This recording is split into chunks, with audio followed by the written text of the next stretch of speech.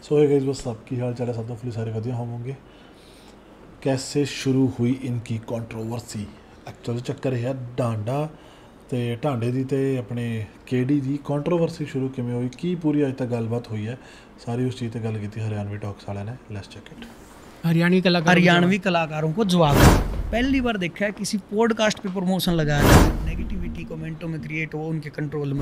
राम राम भाई सारा ने स्वागत तारा हरियाणवी टॉक्स में। रिसेंटली तुमने डांडा न्योली वाला का इंटरव्यू तो देखा होगा जो फार आर्मी प्रोडक्शन पे रिलीज़ होया था। उसमें डांडा ने अपनी और केडी से रिलेटेड कंट्रोवर्सी पे कई बातों के जवाब दिए थे। कई अपनी तरफ़ तक क्वेश्चन भी रखे थे और कई कटाक्ष भी करे थे। उस इंटरव्यू में डांडा न्योली वाला ने केडी के एक इंटरव्यू में कई कई बात डिफेंड करी थी जिस पर मैंने एक डिटेल वीडियो बना रखी है। अगर तुम देखना चाहो तो लिंक डिस्क्रिप्शन में दे रखा है। बात करा आज का टॉपिक की। तो रिसेंटली केडी का एक पॉडकास्ट रिलीज़ होया है जो कि होना लाजमी था क्योंकि जिस डाल डांडा ने अपना इंटरव्यू में अपने शब्दा के बाण से छोड़े थे वह कई आर्टिस्टा ने घायल कर गए होंगे। और उसका इंटरव्यू के बाद हरियाणा वाले या बाट भी देखे थे केडी भाई की तरफ़ से भी कुछ स्टेटमेंट आवा है। तो रिसेंटली केडी का वेग सिनेमा पे एक पॉडकास्ट रिलीज़ होया है जिसमें वो इन सारी बातों ने डिफेंड करा है। जिसमें केडी अपनी तरफ़ से डांडा पर कई सवाल भी पूछा है अपनी कुछ स्टेटमेंट भी रखा है और उसकी कुछ स्टेटमेंट ने जस्टिफाई भी करा है। जैसा कि देखा जावा तो पूछा है कि भाई उसका इंटरव्यू वेग सिनेमा पर ना आकर उनने खुद क्यों रिलीज़ कराया? क्लेम करा है कि उस इंटरव्यू पर प्रमोशन लग रहा था। उसकी टीम ने पहले ही मीम बनाकर तैयार कर रखे थे ताकि मैंने डिफेम कर सके। Okay. साथ में केडी जस्टिफाई करा है। उनकी कंट्रोवर्सी जो स्टार्ट हुई थी वह डांडा ने अपना इंटरव्यू में गलत बता रखी है। बाकी मैं ज़्यादा के बताऊँ तो मैं एक बार यह क्लिपे देख लो लेकिन यह क्लिप देखने से पहला एक बार यह वीडियो देखो क्योंकि केडी की जस्टिफिकेशन समझने खातर तुमने यह वीडियो देखनी ज़रूरी है। तो कोशिश यही है कि भाई हरियाणवी माँ बोली को उस लेवल तक पहुँचाया जाए जहाँ की आप लोगों ने कल्पना नहीं की है।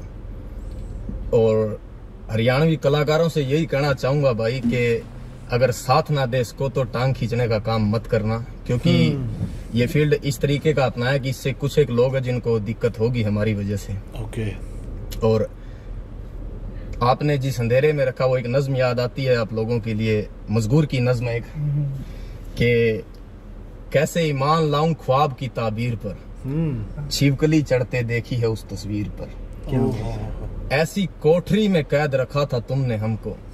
रोशनी आँखों पे पड़ती थी या जंजीर पर। बेटे माओ से खफा है माए बेटों से। इश्क गालिब आ गया है दूध की तासीर पर।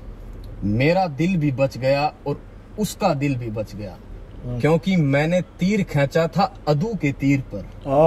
और आज भी हम उन्हीं वीरानियों और नाकामयाबियों के मलबों में पड़े तुमको मिलते अगर तुम हंसते नहीं उस दिन हमारी तकदीर पर ਹੂੰ तो भाई ਤੁਹਾਡੇ हरियाणवी ਕਰਕੇ ਹੀ ਹੈ कलाकारों ਜੋ ਵੀ से ਹੈ। ਜੇ ठीक ਤੁਸੀਂ ਸਾਡੇ ਤੇ ਨਾ ਹੱਸਦੇ ਸਾਡੀ ਬੇਇੱਜ਼ਤੀ ਮਜ਼ਾਕ ਨਾ ਉਡਾਉਂਦੇ ਸਾਡੀ ਮਾੜੇ ਟਾਈਮ ਦਾ ਤੇ ਅੱਜ ਸ਼ਾਇਦ ਮਿਹਨਤ ਕਰਕੇ ਅਸੀਂ ਵੀ ਇੱਥੇ ਨਾ ਪਹੁੰਚੇ ਹੁੰਦੇ कि जो लोग कहते थे जय हरियाणा जय हरियाणवी हरियाणवी माँ बोली बॉम्बे में बाजेगी आज वो लोग सिर्फ अपने घर भरने में लगे हुए हैं भूल गए जो है और जो वादे दिए थे।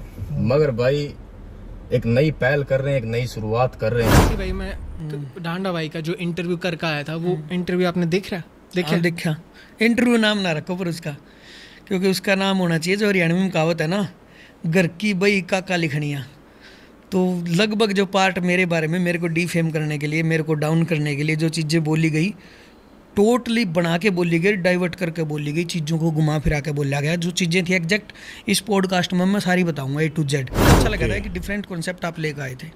तो ऐसी क्या मजबूरी हुई कि आप अपने चैनल पर नहीं रिलीज़ कर पाए उस इंटरव्यू को? ये खुद के चैनल पर रखने का एक बड़ा कारण ये भी था ताकि जो नेगेटिविटी कमेंटों में क्रिएट हो उनके कंट्रोल में रहे। ਓਕੇ पहला कारण तो ये ताकि अपनी पॉजिटिव चीज़ें प्रेजेंट कर सकें और नेगेटिव चीज़ों को छुपा सकें अगर कोई कमेंट करता है तो इजीली ब्लॉक करा जा सके डिलीट करा ਬਟ ਇਹ ਵੀ ਹੈਗੇ ਨਾ ਕਿ ਬਹੁਤ ਸਾਰੇ ਆਰਟਿਸਟ ਆ ਜਿਹੜੇ ਉਹ ਲਾਈਕ ਉਹਨਾਂ ਨੂੰ ਹੁੰਦਾ ਕਿ ਸਾਡਾ ਕੰਟੈਂਟ ਆ ਸਾਡੇ ਚੈਨਲ ਤੇ ਰਹੇ ਜਿਵੇਂ ਸਿੱਧੂ ਬਾਈ ਦੇ ਵੀ ਬਹੁਤ ਸਾਰੇ ਬਹੁਤ ਸਾਰੇ ਤਾਂ ਨਹੀਂ ਇੱਕ ਦੋ ਇੰਟਰਵਿਊ ਤੇ ਸ਼ਾਇਦ ਸਿੱਧੂ ਬਾਈ ਦੇ ਆਪਣੇ ਚੈਨਲ ਤੇ ਹੀ ਪਏ ਆ, ਹਨਾ जा सके अच्छे अच्छे कमेंट रखे जा सके दूसरा पहली बार देखा है किसी पॉडकास्ट पे प्रमोशन लगाया जा रहा है और एक टीम बिठा रखी है जो मेरे को लेके मीम काटने लग रही है। उस इंटरव्यू से जोड़ के मीम काट कर प्रमोट करने लग रहे हैं। पैसा लगाया जा रहा है एक इंटरव्यू को प्रमोट करने के लिए। मेरे ख्याल से आपने कभी नहीं देखा होगा कि किसी पॉडकास्ट या इंटरव्यू पर कोई प्रमोशन लगे हो। वो तो नेचुरली चले चाहे उसमें लाख व्यू आओ चाहे पचास हज़ार आओ चाहे दस हज़ार आओ। अभी अभी आया है अभी उसके कसूर नहीं दिखे खोट नहीं दिखे। जैसे उसने बोला मेरे लिए कि आपके पॉडकास्ट पे मैं हर बात झूठ बोल के जा रहा हूँ। उसने ही बोला। ये सारी बातें टोटल उस पर लागू होती है। टोटल जो जितना वो बोल के गए। मैं एक एक चीज़ को क्लियर करूँगा क्योंकि उसने लोगों के दिमाग को वॉश करने की कोशिश की है। और आपने नोट भी करे हो तो पूरे इंटरव्यू के दौरान जितना भी इंटरव्यू है उसके दो फेस हैं। एक फेस वो है जिसमें अदर बातें कर रहा है। जैसे ही मेरा नाम आओगा उस इंटरव्यू में आप उसकी टोन चेक करना। टोन बिल्कुल अंदर से जो जहर वाली टोन आया करना वो टोन है। कंट्रोवर्सी को गलत तरीके से बता के गया कि कंट्रोवर्सी शुरू कहाँ से हुई। कंट्रोवर्सी आपको क्या बताया गया? कंट्रोवर्सी कितने शुरू हुई? कंट्रोवर्सी का उन्होंने बताई थी कि आप उड़े जा रहे थे। अ, शो से बाहर जब शो भी- पे जा रहे थे। आप छः आर्टिस्ट थे कुल टोटल में। तो उसके बाद उनका एक पोस्ट गई थी इंस्टाग्राम पे।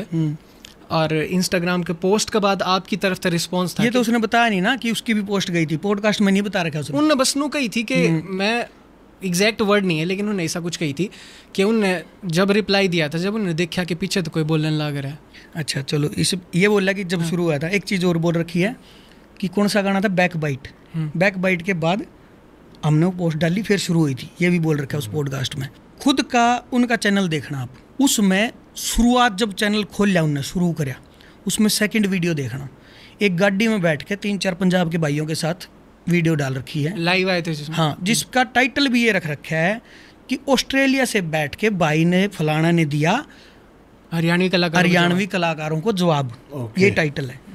तो एक तो इसने सारे टारगेट करे अपने आप को सेपरेट दिखाने के लिए। उस वीडियो में है ये आज भी है आज भी चेक करोगे तो। अगर इस पॉडकास्ट के बाद काट दे तो अलग बात है नहीं तो है वो। और उसमें जब तक मेरे से कोई बातचीत ही नहीं है कुछ भी कदे लेना देना नहीं है उसमें ये बोलने लग रहा है कि कुछ लोगों को हमसे जलन होगी जो से नुको है बॉम्बे में भी हरियाणा बात जाएगा तो वो तो मैंने ही बोला था ना डायलॉग किसका था ये? मेरा ही होगा।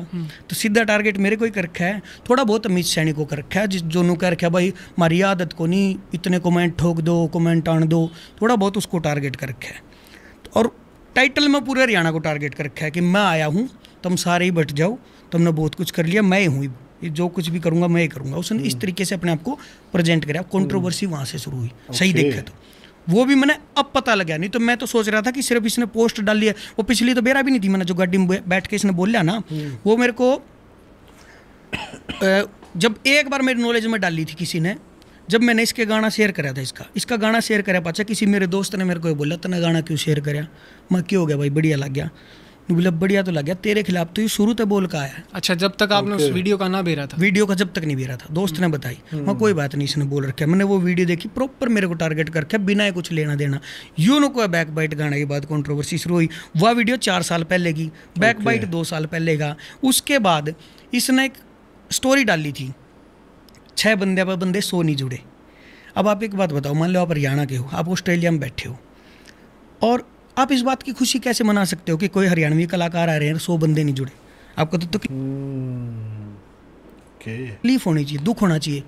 बल्कि अगर आप चाहते हो कि इंडस्ट्री ग्रो करे तो उसने फ़ोन करने चाहिए थे मारते हैं कि भाई प्रोग्राम अड़का रह गया अब मिलजुल के एक प्रोग्राम और धरांगे बड़ा धरांगे थोड़ी मैं भी ज़ोर लाऊँगा थोड़ा तम लाइयो। hmm. यही होना चाहिए। इस वीडियो में इतना है। इस पर तारा के कहना। ओके मतलब ये इतों शुरू हुई पंगा इतों शुरू होया सारा। ਤੇ ਇਹ ਚੀਜ਼ ਸਮਝਾਤੀ। ਮਤਲਬ ਕੇਡੀ ਨੇ ਇਹ ਗੱਲ ਦੱਸਤੀ ਅੱਜ ਵਿੱਚ ਕਿ ਰੌਲਾ ਐਕਚੁਅਲ ਚ ਸ਼ੁਰੂ ਕਿੱਦਾਂ ਹੋਇਆ? ਓਕੇ ਇਹ ਵੀ ਠੀਕ ਹੈ ਯਾਰ, ਸਮਝ ਆਈ ਇਹ ਚੀਜ਼। ਵਧੀਆ ਲੱਗੀ ਮੈਨੂੰ ਚੀਜ਼ ਹੈ ਕਿ ਐਟਲੀਸਟ ਨੌਲੇਜ ਤਾਂ ਆਉਂਦਾ ਨਾ ਕਿ ਪੰਗਾ ਕਿੱਥੋਂ ਸ਼ੁਰੂ ਹੋਇਆ। ਸੋ ਓਕੇ ਅਸੀਂ ਅੱਗੇ ਵੀ ਹੋਰ ਦੇਖਾਂਗੇ, ਲੱਭਾਂਗੇ ਕੁਝ ਇਸ ਕੰਟਰੋਵਰਸੀ ਦਾ। ਅੱਗੇ ਚੱਲਦਾ ਚੱਲਦਾ ਸਾਰਾ ਕੁਝ ਸਤਿ ਸ਼੍ਰੀ ਅਕਾਲ।